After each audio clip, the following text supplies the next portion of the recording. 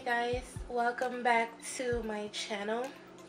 I'm going to be making my ultimate Mesha's caked up meatloaf today. Yes it's a few steps into this dish and lots of ingredients but it's definitely worth it. And this will be the juiciest most moist meatloaf you've ever had i have a bunch of vegetables here i have my peppers I'm using two kinds of onions, scallions and onions, regular, you know, white or yellow onions. I have about two tablespoons of fresh thyme and two different colors of peppers. I have my bread, two slices of bread that I chopped really small. That's right here. And I'm soaking it in about a quarter cup of milk. I also have four strips of bacon that I cooked up and chopped up really, really small. And now I'm just going to start by sauteing my vegetables and let it cool down. And then we're going to put it all together. Okay, I'm going to add my vegetables. I think I'm going to stop there.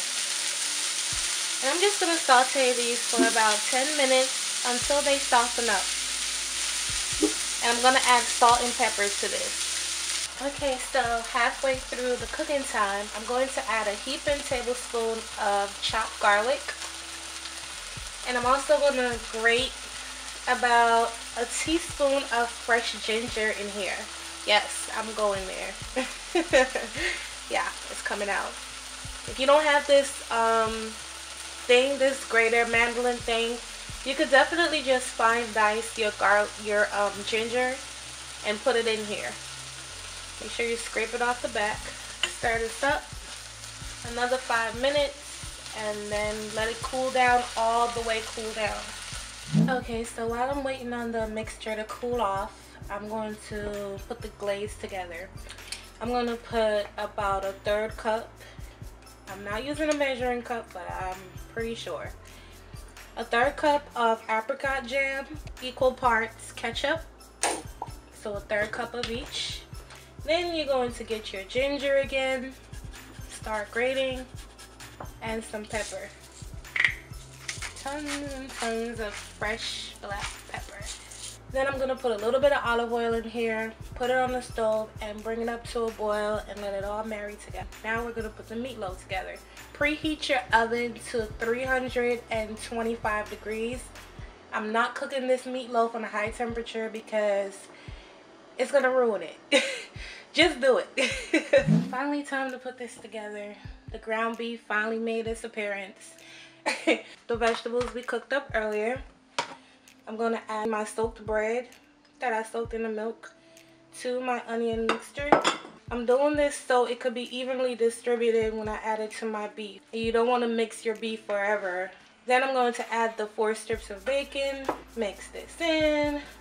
Mm, mm, mm, now I'm going to take my beef and I'm going to put the mixture all in here. This is three pounds by the way and it's 80-20. If you want to put all the way lean that's fine too because it's going to be so much mo moisture in your meatloaf it's, it's not even going to matter. And then I'm going to add my one beaten egg and now I got to season this up. Put your salt. I'm only going to add maybe a half a teaspoon of salt to mine because of the bacon and I also salted my onion mixture but it's totally up to you. Make sure you taste your food. Also i'm going to put some garlic powder in here. Then i'm going to put some grill mates chipotle roasted garlic seasoning in here. And then i'm going to add some more fresh thyme to my mix. You just could never have enough herbs. Anyway i'm going to mix this up and then we're going to move on to the next step. Okay guys here comes the fun part just to say a little prayer for me and hope that this comes out. Thank you. So I'll put my meatloaf into a loaf pan, but I'm not going to bake it in this loaf pan. I want to turn it out on my baking sheet. So you're just gonna do it like that. and say a prayer and pray it comes out. Let me see. Oh no. Okay. There we go. Perfect. See how pretty she is? Perfectly molded. Yes. But anyway, so now I'm to put this in the oven for about 50 minutes. yeah, five zero, 50 minutes. And then we're gonna start painting with our glaze.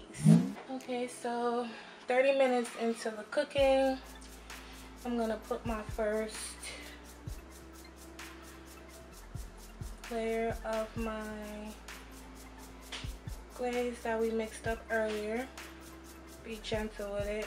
You don't want it to fall apart. You're gonna put it all over. Cover the entire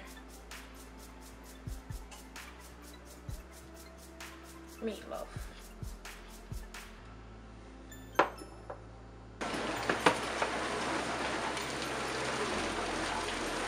Okay, so I sliced up my meatloaf, put it on a plate with some scallions, and I made some pan roasted potatoes in some olive oil, butter, fresh thyme, and salt and pepper. So try this recipe out. Let me know what you think. Comment below. Like, share, subscribe, and I'll see you guys next time. Bye.